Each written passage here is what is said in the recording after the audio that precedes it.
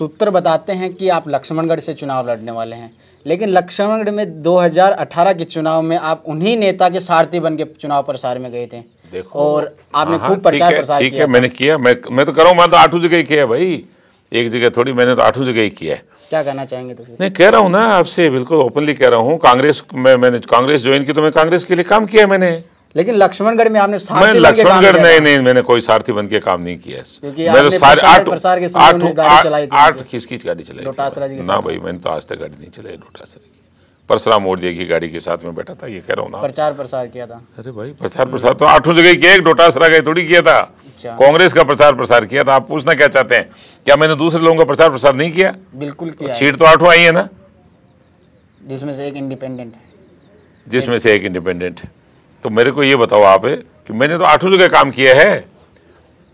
डोटासरा को भी वोट मिले ही हैं। मैं साथ रहा तो मेरे मित्रों ने मेरे साथियों ने वोट दिए ही हैं।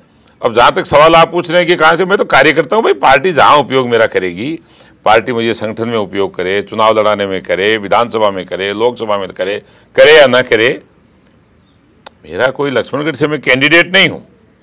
जनता जनता जनता वो तो जनता पार्टी का काम है यार। ये कोई बात है कि मैं लक्ष्मणगढ़ से मैं ही कैंडिडेट हूँ? मैं कैं- लक्ष्मणगढ़ से कैंडिडेट बनने के लिए थोड़ी मैं पार्टी में आया हूँ।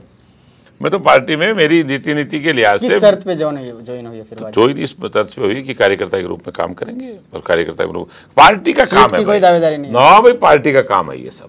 ये सब पार्टियों का काम होता है।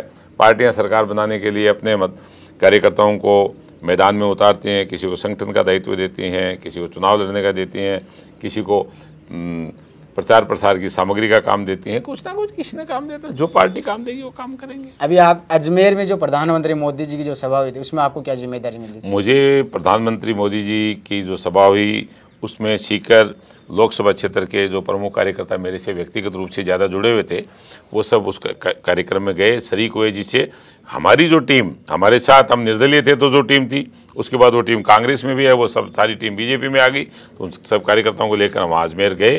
प्रधानमंत्री जी का भाषण सुना खूब जय जयकार करी। अच्छा अगर भाजपा आपको लक्ष्मणगढ़ से उतार देती है तो आपके लिए सबसे बड़ी चुनौती होगी वहाँ के क्षेत्रीय नेता जो पहले से मैदान में हैं उनको एकजुट करना जिसमें दिनेश जोशी है हरिराम जी रणवा अभी एक नया चेहरा भी सुनने में आ रहा है जो रामदेव जी हॉस्पिटल वाले डॉक्टर साहब देखो भाई मेरी बात सुनो। तो कैसे कर हर किसी को जो कार्यकर्ता हैं जो उनको वोट लेने का चुनाव लड़ने का काम करने का सबका अपना अधिकार है। जहाँ बात दिनेश जोशी जी की करते हैं दिनेश जोशी जी पिछली बार कैंडिडेट थे। सेवेंटी सिक्स थाउज़ेंड वोट उन्होंने लिए हैं। तो बीजेपी ज्वाइन करने के बाद में उन्होंने बीजेपी में काम कर रहे हैं। तो बीजेपी के नेता हैं क्या दिक्कत है दिनेश जोशी में? दिनेश जोशी जी को काम करने का पार्टी ने मौका दिया है पार्टी। उनको फिर से टिकट मिलता तो आप साथ चुनाव जिताऊँगा धड़ल्ले से ज़ोर शोर से। और अगर आपको मिल जाए तो क्या सारे नेता साथ रहेंगे आप गांठ मान लो। ये गोविंद सिंह की पॉलिसी है ना कि इनको दूर दूर कर देंगे इनको चार जगह बिखेर देंगे एक नहीं बिखरेगा। आप ये मानते हो इनको दूर दूर करते नहीं एक को नहीं बिखरने दूँगा। साथ हमारा जो टारगेट है वो कांग्रेस को हराना है। गोविंद सिंह को ये बताना है कि इलेक्शन क्या होता है। और उसके बाद में आपको जवाब ये जो है ना आने वाला टाइम देगा।